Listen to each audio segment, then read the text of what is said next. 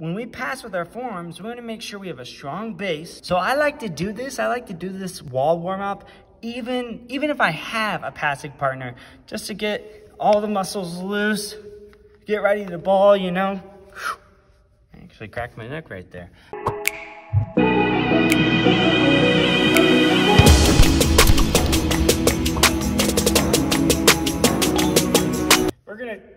Initiate, initiate the drill with the toss. We're gonna be nice down and low, right? It doesn't matter how tall or short you are, you should be nice and low. When we pass, we wanna make sure our palms are up. We don't start like this because if you're playing defense and your hands are glued together and a person hits it really hard at your face, you can't protect yourself. So palms up, so you can protect yourself at all times or pass with your hands. So when we make our platform, one hand over the other. Some people do like this in the gym class, left over right, thumbs out, pull thumbs down like this.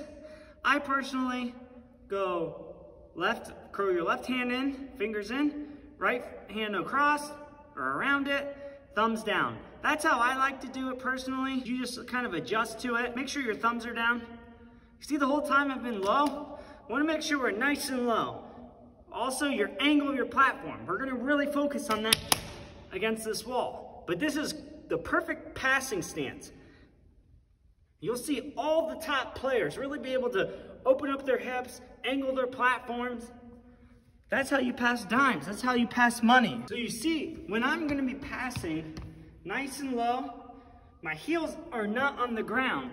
Now, obviously, when you make contact, you wanna make sure your heels are on the ground and you're holding. First, you wanna start out nice and short.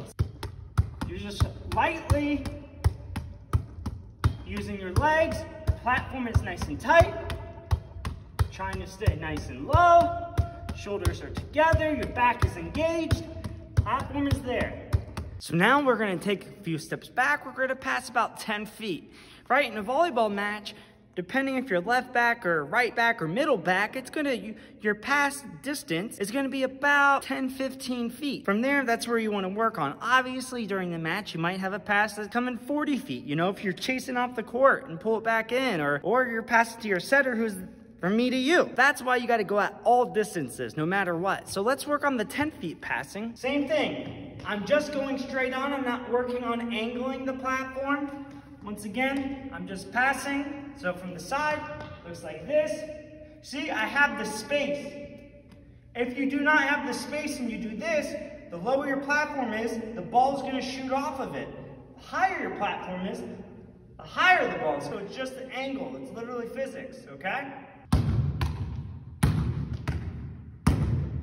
Straight on. You'll see me take a step. It's a very comfortable step. I don't want to step outside of my range. Usually I don't even like stepping outside of my range, like even here. I like to really bring my leg up with it. So we're kind of parallel. But you saw, sometimes you're not gonna pass it, not sometimes, all the time, basically. It's not always gonna be dead on straight. So you're gonna have to open up your hips. You saw me. I opened up my hips and turned. You see my platform? That's the money part of your platform, right? If one arm is just red and the other isn't, that means your platform's off like this or vice versa. But you see, it's right on the money. You'll use the higher part of your platform um, more frequently during serve receive and when you're digging, just because there's more variability of where the ball is going to go and you're reacting more than just here where it's really obvious where the ball is going. All right, same thing. Let's switch up the angles. So I'm going to do the same thing. I'm going to be, this is targeted, like I said, so we're going for the in between the beige and the white. So we're still working on that 10 foot distance. You see when I pass, I'm really getting my feet there first, established base, nice and strong. My back is also strong. So you see how I was targeted the whole time? Once again, you can see it doesn't hurt, but my arms are just red. I haven't played in a long time. Hitting on the money in my platform, really controlling that ball. Sometimes you have to guide it just a little bit but if you start swinging the whole time, you're gonna lose control. Basics, right? So this time I'm gonna change the angle so you can see what I look like, how I'm tracking the ball with my eyes. Obviously, you've seen it. I'm gonna be hitting the same part of that wall that you just saw, same side, but this time, I'm gonna be a little further back, right around that 20 foot from me to the wall. I'm gonna be really working on angles. You see how I'm, I'm nice and low. Passing, you see how when I need to pass, to the right. My left leg is further in front to open up the hips. Same thing on the left. My right leg's forward now so I can pass the ball to the left. Just physics, right? Gotta use these puppies. Really gotta use these legs. Really press, okay? Going left and right, so you'll see it from this side, and then I'll flip it back over so you can see it from the others. Also, when you open your platform up, you'll see your left arm drops a little bit, and your right shoulder comes up. Same on the left side, see? So I'm gonna start, you're gonna have to chuck this ball really hard against the wall. Get it come, to come back to you 20 feet. We have to make sure that our platform and our back is engaged, meaning both are tight, because one, it gets you warm, your legs, you see how I have to really open up. Once again, you can really see I'm hitting that target. This is good feedback. This is feedback, this is feedback, all right? You see the outside? This outside part is for me angling the ball both ways. You see, I have to drop this shoulder, so it's gonna hit more the, the outside of my forearm. So on that one, I really focused on pushing the ball, right? So if you have to, if you can't move your feet fast enough to get back behind it, you gotta do a drop step. Drop step, opening your right leg up, bam. Now my platform is faced towards my target. Same thing on the left. Bam, you see how I hold it? Every time I pass, I want to hold that. So we're gonna really work on that drop step, okay?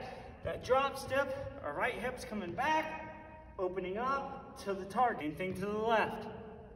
I'm gonna focus on just going straight a couple times, going right, going left.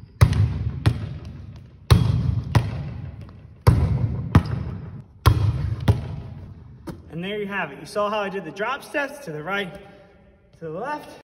So this angling of the platform, this is going to be vital for serve receive. We want to make sure we can master our angle and serve receive as well as digging. We can't really focus on getting our feet there perfectly like a free ball. So this is really nice. It incorporates both the legs, but more focuses on the angling and the platform. We want to make sure we don't swing our arms. You saw when I just swung and didn't hold it all or no control, you lose control of the ball. So thanks so much, guys, for your support. It's been incredible. We have hit 50 subscribers. I am so jack. Let's go. I love you guys. I got more content coming out. Please share, like, and subscribe. See you in the next one.